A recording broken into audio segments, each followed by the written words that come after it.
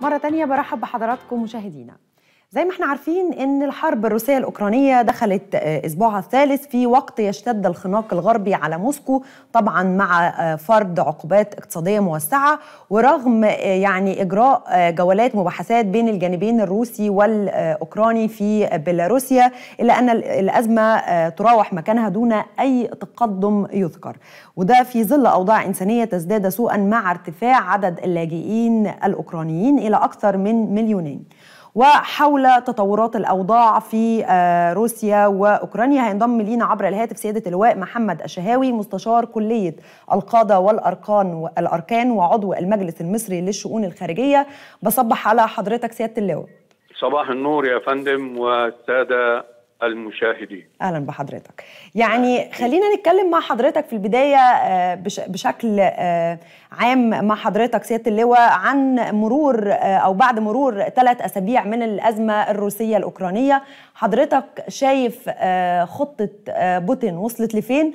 وكمان يعني إلى أين تتجه هذه الحرب؟ هو هذه الحرب تعتبر حرب تقليدية حديثة. يعني أعطت قبلة الحياة لحروب الجيل الثاني والثالث. نعم.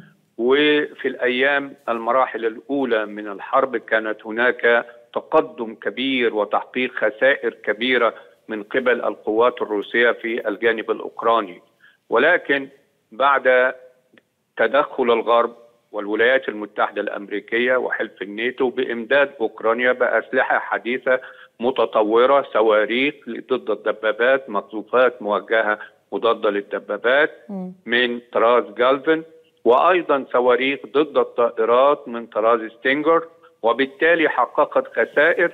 حرب المدن فالقوات الروسية توقفت حاصرت المدن الكبيرة في أوكرانيا. حتى لا تتورط في قتال شوارع لأن القتال في المدن هو أصبع هو أصعب أنواع القتال. إحنا نعلم أن هناك قتال في أراضي صحراوية في أراضي زراعية في مناطق جبلية لكن المدن يطلق عليها أن المدن هي مقبرة الدبابات. ولذا قل الدفع وقوة الدفع الروسية بفضل هذا الدعم من الناتو ومن الولايات المتحدة الأمريكية لأوكرانيا. في حصلت خسائر كبيرة في الجانب الأوكراني.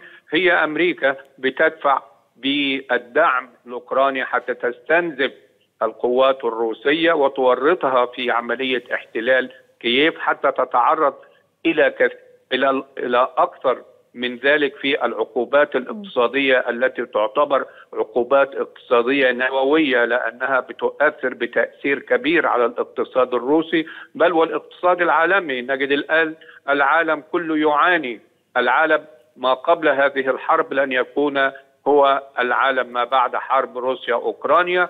أيضا بنجد أن هناك تأثير في كل الدول من حيث يعني أسعار المواد الغذائية أسعار النفط اللي قفز إلى 140 دولار صحيح بعد أن قامت روسيا بالجلوس على طاولة المفاوضات مع أوكرانيا رجع إلى حد ما. ولكن بقول أن الحرب ستستمر فترة لا أحد يعلم مداها وقامت اتهامات بين الطرفين ب يعني إدخال سلاح جديد في هذه المعركة وهي الأسلحة البيولوجية.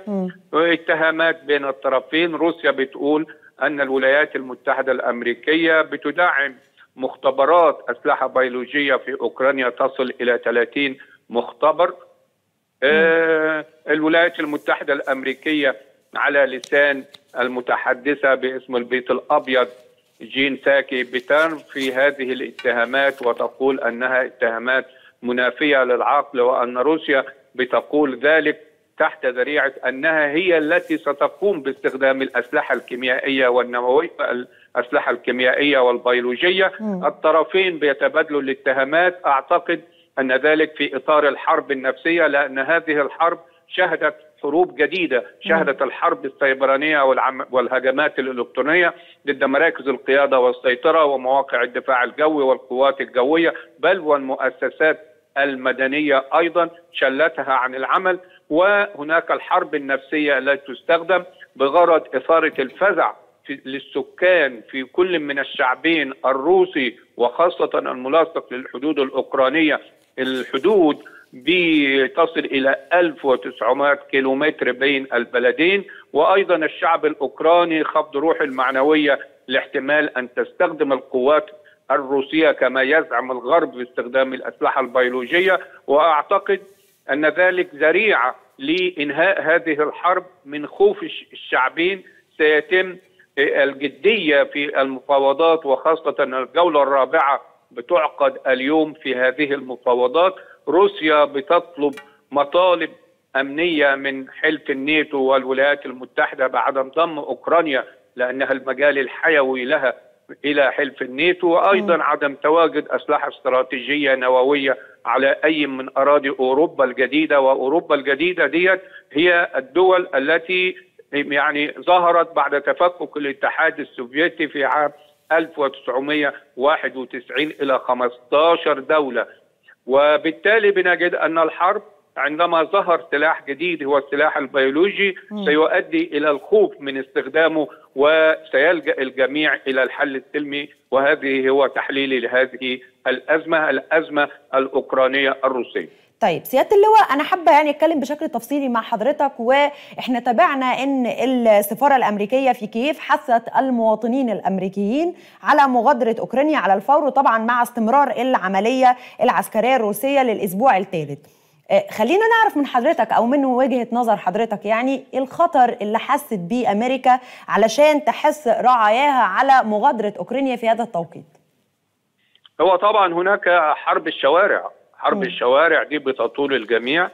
الفيلق الأوروبي اللي هو الناتو وأمريكا وأوكرانيا بتزمع بتجنيد شباب من كل الدول الأوروبية أنها تقوم بالقتال في كييف وفي المدن الأوكرانية حتى يمكن إحداث أكبر قدر من الخسائر في القوات الروسية. طبعا روسيا يعني قامت بضربة قوية يعني قضت على الكثير من هؤلاء المرتزقة وكان رسالة لكل هؤلاء المقاتلين أنهم لن يسلموا في أوكرانيا. وبالتالي الفيلق الدولي اللي هو يعني يريد أن يطيل أمد الحرب في أوكرانيا والدول الغربية بتدفع لذلك لتوريط روسيا واستنزافها لأنها وجدت أن القوى المراجعة أو ال revisionist power اللي هي روسيا والصين التي لم ترضى على النظام العالمي القطب الأوحد المهيمن وهي الولايات المتحدة الأمريكية منذ تفكك الاتحاد السوفيتي وانتهاء الحرب الباردة في 91 هم يريدوا أن يكونوا هم من يعني يتحول النظام العالمي إلى متعدد الأقطاب.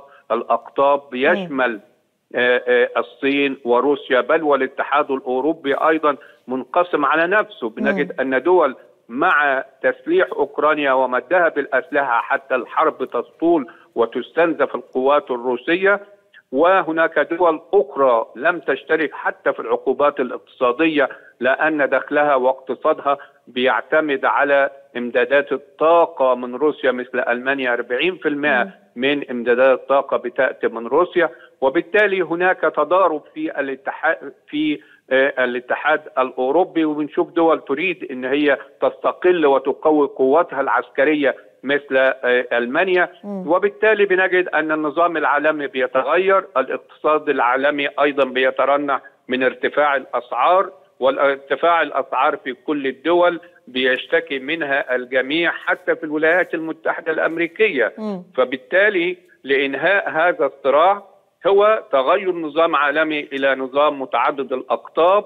اثنين أن تنتهي هذه الحرب بأخذ ضمانات من أوكرانيا بأنها لن تنضم إلى حلف الناتو لأن ذلك يؤثر على الأمن القومي الروسي بالضبط كما فعلت الولايات المتحدة الأمريكية في عام 62 عندما استشعرت بأن كوبا المجاورة لها بها أسلحة نووية روسية فكانت هناك يعني أزمة كبيرة جدا تسمى أزمة خليج الخنازير وقالت إن مش ممكن توجد أسلحة نووية روسية في المجال الحيوي لينا. وفعلا لم توافق على ذلك وتم سحب تلك الأسلحة. الآن بيتكرر في عام 2022 وبعد مرور كل هذا التوقيت يعني 60 عاما بنجد أن روسيا أيضا لا ترضى بأن يكون هناك أسلحة استراتيجية في أوروبا الجديدة تؤثر على أمنها القومي. أعتقد أن سيتم آه الانصياع إلى المطالب الأمنية الروسية وأن سيتم استقلال الجمهوريتين المنفصلتين لوهانسك ودونيتسك بالإضافة أن تعترف بأن القرم دي أصبحت يعني من الأراضي الروسية وكل ذلك بيؤكد أن النظام العالمي بيتغير معلش هو الكلام يعني داخل في العلوم السياسية بس هذا هو التحليل الواقع صحيح. العالم صحيح. الآن بينظر لهذه الأزمة لأنها تؤثر على كل دول العالم حقيقة. طيب إحنا على ذكر الأسعار سيادة اللواء وعلى ذكر إن هي أو الأزمة بتؤثر على كل دول العالم نروح لليبيا مع حضرتك. وأزمة غذاء يعني وشيكة على ليبيا. طبعا من الواضح إن ليبيا هتتأثر بشكل كبير بسبب هذه الحرب لأن ليبيا كانت بتستورد حوالي 650 ألف طن من القمح. خلينا نعرف من حضرتك أو من وجهة نظر حضرتك كيف تتعامل ليبيا مع قلة فرص الاستيراد وخصوصا إن ليبيا كانت بتعتمد بشكل كبير على روسيا في سلع مهمة زي الزيت والدقيق وإحنا كمان يعني داخلين على شهر رمضان كل سنة وحضرتك طيب. طيب طبعا هو هناك دول تأثرت وخاصة دول في شمال إفريقيا. وأيضا مصر، مصر أيضا من الدول التي تضررت ولكن مصر لديها خطة هذه الخطة بتتمثل في احتياطيات استراتيجية بتصل إلى أربع شهور ثم يعني موسم حصاد القمح الذي يبدأ في 15 من الشهر القادم. وبالتالي هناك يعني سيناريوهات موجودة وهناك احتياطيات لاستشراف المستقبل موجودة وهناك تنوع 14 دولة أخرى بيتم استيراد القمح منها. م. ليبيا نفس القصة ستستورد من دول أخرى من ال 14 الدول الأخرى وأعتقد إن دي بتدينا رسالة إن كل الدول تحقق الاكتفاء الذاتي من السلع الاستراتيجية مثل القمح. مصر بتستصلح الدلتا الجديدة ومستقبل مصر وأغلب هذه الأراضي بتستخدم في زراعة القمح الزراعة الأفقية والزراعة الرأسية وبالتالي الاعتماد دي رسائل ودروس مستفادة من الأزمة الروسية الأوكرانية. الرسالة الأولى إن تعزيز القدرات العسكرية لأي دولة ديت بتكون سبب رئيس في تحقيق الأمن القومي. الرسالة الثانية عدم الاعتماد على أطراف دولية أو إقليمية لحماية أمن أمن الدولة لأن الذي يتغطى بالعناصر الخارجية زي ما بيقول كده في المثل الدارج بيعتبر يعني عريان. مم. نمرة ثلاثة الاكتفاء الذاتي وتحقيقه في كل السلع والاعتماد على الذات ده بيؤدي إلى استقلال القرار السياسي وتحقيق الأمن القومي بمشتملاته الكاملة اللي الأمن القومي طبقا لروبرت ماكنمارا وكان وزير الدفاع الأمريكي وعمل كتاب هو الأمن في عام 66 بيتكلم عن التن... عن الأمن القومي هو التنمية. التنمية في المجالات المختلفة المجالات الاقتصادية السياسية الاجتماعية. مصر كان هناك تقرير صدر عن الأمين العام للأمم المتحدة منذ أسبوع بيتكلم عن الإرهاب في العالم. وافرد في 21 صفحة. وافرد جزء في الصفحة السابعة لمصر. وقال إن مصر حققت نجاح كبير في القضاء على الإرهاب وأنها تحارب الإرهاب بالتنمية. إحنا في شمال سيناء هناك 312 مشروع تكلفوا 195 مليار جنيه.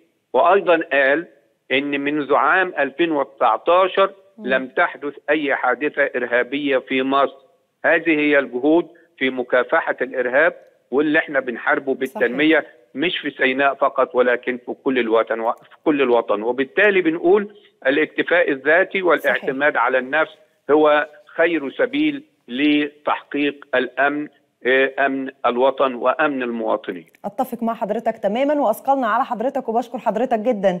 سيادة اللواء محمد الشهاوي مستشار كلية القضاء والأركان وعضو المجلس المصري للشؤون الخارجية.